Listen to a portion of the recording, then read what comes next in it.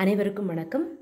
நாம் இந்த பதிவில் பார்க்க போகிறது கண்ணனுடைய அவதாரம் குறித்து பெரியாழ்வார் சொன்ன பாடல்களின் சிறிய விளக்கம் பற்றி தான் கண்ணன் எந்த மாதிரி அவதாரம் செய்கிறான் அப்படின்னு பார்த்தீங்கன்னா மாடங்களும் கோபுரங்களும் நிறைந்த திருக்கோட்டியூரில் கேசவன் என்ற நாமமுடைய கண்ணன் வந்து அவதாரம் செய்கின்றார்.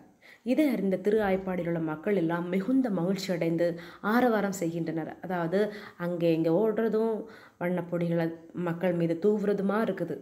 மற்றும் பால் நெய் தயிர் போன்ற பொருட்களை பிறருக்கு மகிழ்ச்சியில் தானமாக வழங்குறாங்க. அது மட்டும் இல்லாமல் அந்த குழந்தைய பார்க்குறதுக்கு ஆண்களும் பெண்களுமா வரிசையாக போகிறாங்க அதன் பிறகு அந்த குழந்தை இவ்வளோ அழகாக இருக்குது ஒளியுடையவனாக காணப்படுறான் திருவோணத்தவன் அப்படின்னு பலவிதமாக அந்த குழந்தைய வர்ணனை செஞ்சு கொஞ்சுறாங்க தாய் யசோத பிராட்டி அந்த குழந்தையை குளிப்பாட்டும் போது அவனுடைய கால் கையெல்லாம் நீட்டி நிமித்து குளிப்பாட்டுறாங்க. அப்போது அவனை வாயை பார்க்குறாங்க. அவனுடைய வாயில் ஏழு உலகங்களும் தெரியுது.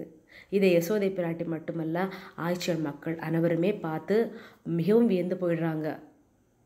குழந்தை பிறந்த பன்னிரெண்டாவது நாளுக்கு அப்புறம் அவனுக்கு அந்த குழந்தைக்கு நாமம் சுட்டுறாங்க அவனை தொட்டிலில் கிடத்தின கூட தொட்டில் படுக்க மாட்டான் தொட்டில் உதச்சி தள்ளிடுறான் சரி தொட்டில் தான் அப்படி பண்ணுறானேன்னு சொல்லிட்டு அந்த குழந்தைய தூக்கினா நம்ம இடுப்பையும் ஒடிக்கிற மாதிரி பண்ணுறான் இப்படி சிறு வயதிலிருந்தே அந்த செல்ல கண்ணன் வந்து குறும்புகள் செய்பவராக காணப்படுறான்.